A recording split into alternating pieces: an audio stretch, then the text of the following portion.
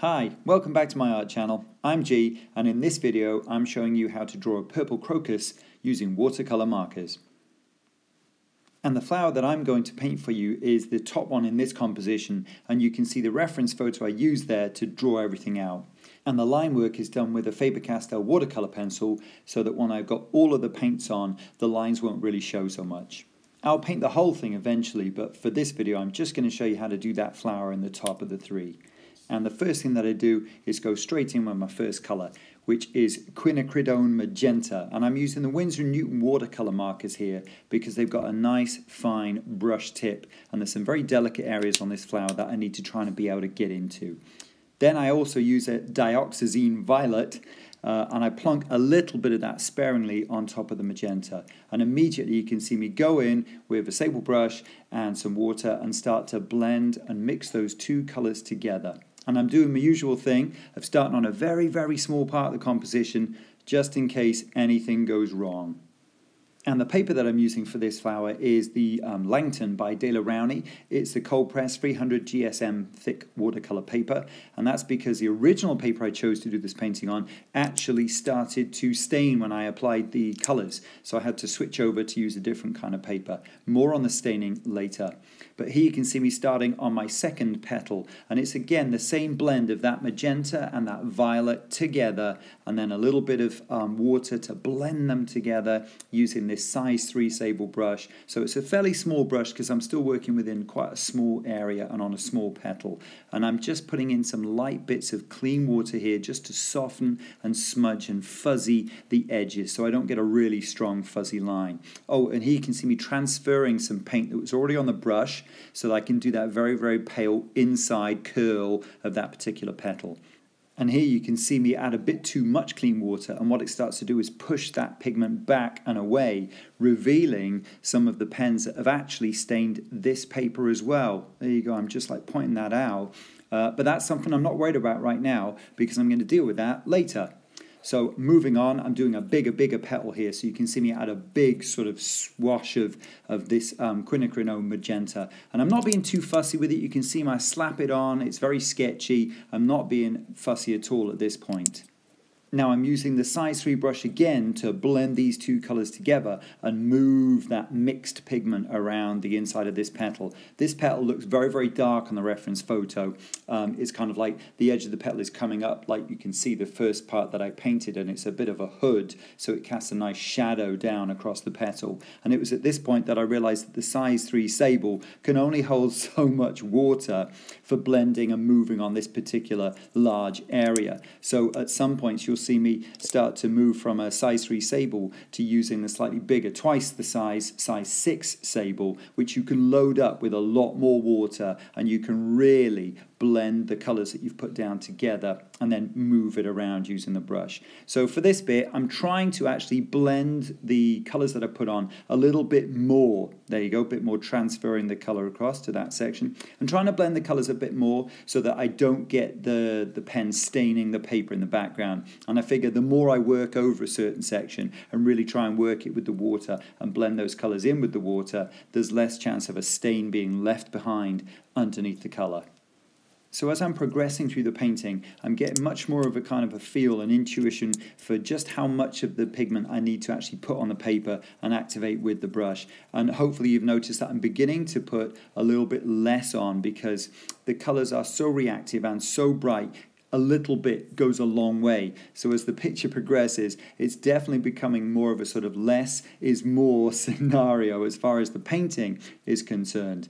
These are very reactive. They do look a little bit brighter and a bit more colourful um, when they're wet, but I think that is true of most watercolours, whether you use pans or tubes. When it's wet, it, the, the colour just seems utterly vibrant. And then as it dries, um, I suppose saying it dulls a little bit is not perhaps the best way to describe it, but it, it gets a little bit more matte and, and maybe not quite as bright in the color stakes, but this is watercolor, so it's still lovely pigmented bright color.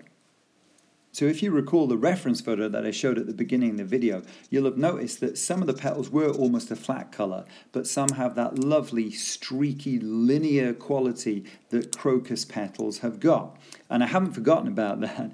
It's just what I'm doing is I'm laying down a kind of a base coat across the petals first of all. And I'm also beginning to notice that there are a couple of patches where the pens have stained the uh, the paper underneath. And I'm thinking that probably the best way to combat that is to go in with maybe a second coat of color after I finish these first coats of color. So I haven't forgot about the line work and I've got that in mind, but I'm getting my base colors down first instead of getting really obsessed with the detail and the very, very fine parts of what this painting is going to offer.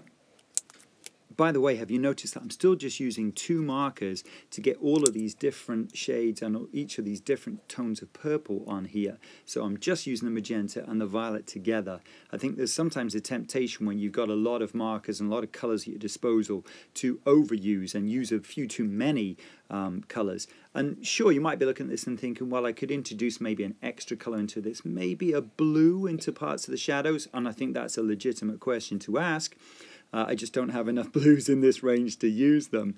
But you should always wonder about that. And, you know, am I using too many colors? Am I actually using, you know, an okay amount of colors? Am I overcomplicating things by adding too much? and you can just see me doing a small part on the edge of this petal and you know getting the two colors on blending them together trying to leave a little bit of a white edge between the underside of the petal and the inside of the petal but here you see me going straight in now. It's a bit of time lapse as I do the second layer. So what I'm trying to do here is put on some extra color, enrich the colors that I've already got there, change the tones of some. So some have more magenta and a little bit less violet, but also I, you know, I admit it, I'm on a bit of a rescue mission to apply a bit more paint, move it around, and to try to hide some of those streaky bits that I could see after my first pass at the, the colours. So at this point I've used so much purple I need a little bit of break from the purple so I introduced some yellow. I'm going to do the bit in the middle where all of the kind of like polleny bits would be.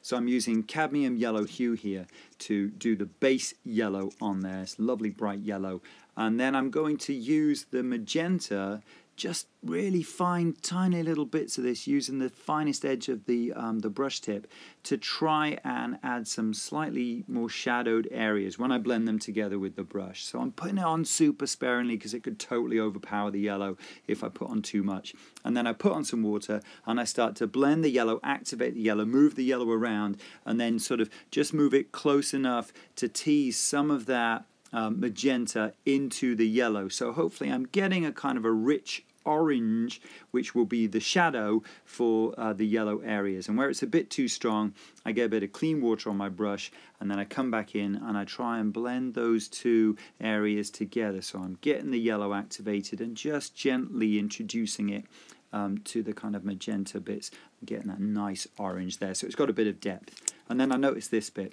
that I hadn't quite done earlier. So a couple of little dabs of colour and then activate that again using the brush and the water. So I've got that shadow at the sort of near the base, near the bottom of where the petals are all growing together. So I'm getting close to that stage where I'm going to procrastinate a little bit and just find some little bits that I think I need to touch up because I'm kind of putting off the line work bit because it is so fine and so delicate. I'm a little bit worried um, it's the high risk part of the painting and I might end up ruining things if I'm not careful. So that's why you can see me adding a little bit more color this side. I'm you know darkening it up, adding a bit more tone. But really, we all know that I'm putting off doing the fine line work because that's going to be the trickiest part of the painting. But I can put it off no longer. So here you can see I'm going to use the sort of transferring the color method and I'm going to actually just put a bit of marker on the paper, add water to it. It's going to be like a palette on the paper. And so I get some water on the brush, mix it around, and now I've got magenta on my brush and I'm going to put some of that fine line work in, those little lines you see on a crocus petal and I'm trying to flick and curl them up using this brush. And this brush is a bit of a customized brush. It's a synthetic triple one brush, uh, Winsor Newton Cotman range I think, and it's lost so many bristles over the years that it's not even a triple one anymore. It's even finer than that. So I'm using that one to put in these lines. And I'm starting with the magenta first. It's not dark enough. Um, if you see the reference photo, you can tell that it's not dark enough. But I'm starting with that as a base. And I'm going to make it darker where I need to in a minute. So again, I'm putting a little bit more color on the paper, using the paper as my palette, activate it with water, and then the colors on the brush. So you can see me here using this incredibly fine brush to just put in some of these lovely veiny bits that you see on a crocus. They're the thing that attracts you to it, but when you have to paint them, gosh, they are quite daunting looking at them on the reference photo and thinking, oh, how am I going to do all of that? So it required a lot of concentration, my glasses on, and a super steady hand in order to try and get these guys put on here you might be thinking, why didn't I use the fine tip of the watercolor marker? Because they are dual tips, so they've got a brush tip on one end and a fine tip on the other end. Um, but that tip wasn't fine enough to do the kind of lines, the vein work that you can see me doing here. Uh, and if I try to do them using the, the really, really fine edge of the brush tip, I might have been able to get them super fine, but I would have had to concentrate even more than I'm doing now.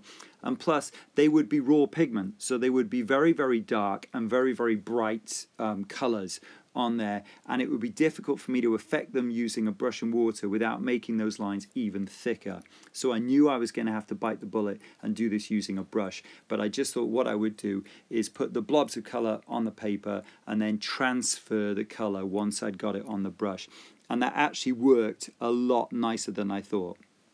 I thought it was going to be a little bit trickier. I thought the lines were going to be a bit thicker and fatter and blurred. So I was kind of pleased with the way that they actually turned out. Now you might be looking at the, the patches of colour that are now on the paper, the palette that I'm using, um, and be like, oh no, he's ruined it. Oh, what's he doing with that? Oh, it's going to completely ruin the whole picture. But it's not, because if you see the pencil lines that are just on there, quite faint, that's the actual um, size of the picture that I'm doing, because I've got uh, like a card mount, so I know exactly how much of the picture space I need here and what I don't need, what's going to be covered by a card mount or a frame uh, and that's the part you can see me using. So don't worry, I did think this through before I started it, and that particular patch, and indeed the patch above where I add other colours, you can see me adding violet now, that's not going to get seen if this picture ever gets displayed in a picture frame, so it's all right. Whew. Right, so I started with magenta, but now you can see me putting violet on as part of my palette on the paper, and I've mixed that, I've got that on the brush, and I'm now transferring that violet and I'm going over part of the magenta lines that I've already done. So this is like a second layer of color going on, but also a darker color. So it's not going to be super, super dark because, of course, I'm adding water to it and it's getting a little bit diluted, but it's going to make those lines darker and hopefully make those lines show up more against those petals. And I kind of noticed doing this that the crocus seems to have three quite fat, solid coloured petals, and then in between those, three petals that are paler with the, the, the vein work, these fine lines, really, really show up a lot. And I don't know if that's true of all crocuses or just the pictures that I took but it seemed to be a, a, really cool kind of effect. And I'm kind of glad that I didn't have to do this vein work on every single petal.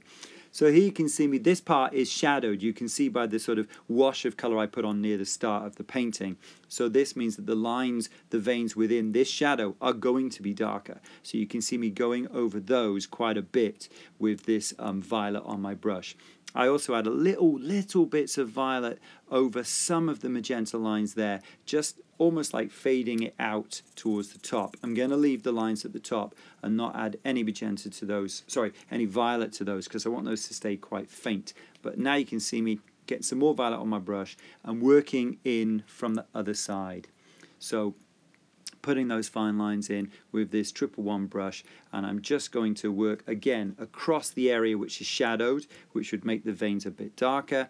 But I'm going to go for slightly broken lines and just very gently dabbing in a few lines here. Oh make a bit of a meal of that one. So a little bit of tissue hand to just sort of dab it. Any kind of mistakes get it dabbed as quick as possible but I'm not worried about that. It's looking okay, and I had a little bit of last minute noodling with the fine brush, but stop on that. I'm happy with that. That's looking okay. So I'm mixing more violet on the brush, and now I'm just doing the darker vein work on this this last sort of petal that needs it. So again, I'm trying to curve my strokes slightly from the top and just gently curve them downwards and towards the left as I'm bringing that brush down because the sort of curved lines or the directional lines will give you the feel that that petal is curved. If you went for just straight up lines, it's going to give it a very different look. I'm not saying it's wrong, but it's going to look very different. So here you can see me just adding a little bit of colour on this bottom edge here, which I felt needed a little bit of magenta just to show that that petal is growing out from there. And here you can see me doing the stalk. So this is a little bit of sap green slapped on and then going straight in with a bit of the violet. So I'm hoping these two will blend and make a sort of a greeny brown colour for the stalk. And I like the idea of using some of the, the colour that's already existing on the flower, either in the background or as part of the stalk to make things darker so that the whole picture will come together and kind of blend together and have this feel of being a complete picture. And here you can see me on working uh, and adding some highlights. I wasn't happy with how white some of the edges were, so I'm just doing a very simple thing here. I'm adding a bit of water, I'm blending some of the color, and I got some tissue on my other hand, and I'm just blotting the color as I activate it. So I'm lifting it off the page. It doesn't give you a bright white highlight, but it will remove the paint and give you a highlight, which is I think what the edges of these petals just about needed paint wouldn't have given me the same kind of effect and wouldn't have been a flat white. So there you go. I hope you enjoyed this full step-by-step process of how to paint the crocus. I hope you liked it. Let me know in the comments below what you thought. And if you subscribe, you won't miss my painting of all three of the crocus flowers. And please don't forget to like and share. Thank you so much for watching.